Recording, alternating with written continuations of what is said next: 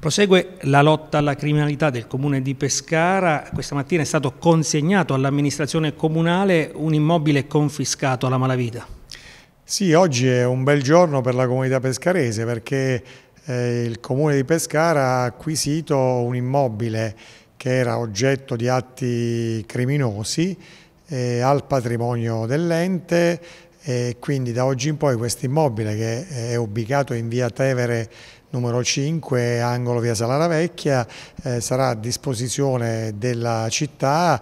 e quindi sarà a disposizione delle associazioni di volontariato o delle associazioni che si occupano di sociale o per esigenze di residenzialità pubblica, comunque eh, tutte questioni che riguardano i pescaresi perché oggi finalmente questo immobile che fino a qualche tempo fa era in mano a delinquenti, oggi invece è in mano ai pescaresi per bene, è un grande segnale e questo è il primo di 27 immobili che saranno acquisiti al patrimonio dell'ente comune di Pescara nei prossimi mesi, tant'è che eh, il prossimo Consiglio Comunale vedrà approvata una delibera eh, in cui ci sarà proprio eh, l'acquisizione di questi beni al patrimonio comunale.